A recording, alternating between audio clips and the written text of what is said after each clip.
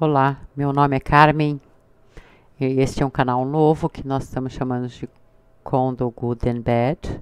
Eu tenho alguns livros publicados e nós pretendemos falar sobre condomínios. E aqui a gente está mostrando um condomínio assim, em estado totalmente precário que nós recebemos para administrar desta forma. Aqui a parte da laje do prédio, a canalização e distribuição de água, nesse estado que estão vendo nas fotos totalmente lotado de ferrugem. Ainda a laje do condomínio, ele tem 3 mil metros de área. Situação das instalações elétricas prontíssimas para pegar fogo, como se percebe. Fios todos bagunçados, torrados. As canalizações de esgoto, que eram uma anilha toda a volta do prédio, nós substituímos aos poucos. As colunas de, de dos apartamentos, aí uma de água e de esgoto já substituída. Casa de máquina de elevadores desde a construção. Tudo, aliás, era desde a construção, estado totalmente precário, prédio imundo, totalmente destruído.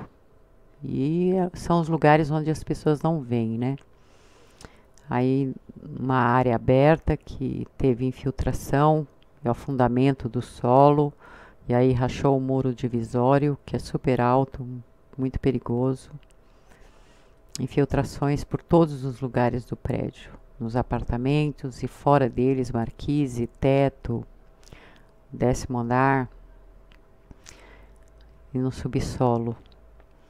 Os corredores, as vidraças todas arrebentadas com é, de ferro as escadas imundas, os corredores imundos, o piso terrível, tudo quebrado, como se vê pelas fotos, a lixeira.